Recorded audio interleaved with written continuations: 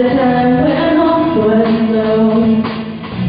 The Chinese kingdom shall war.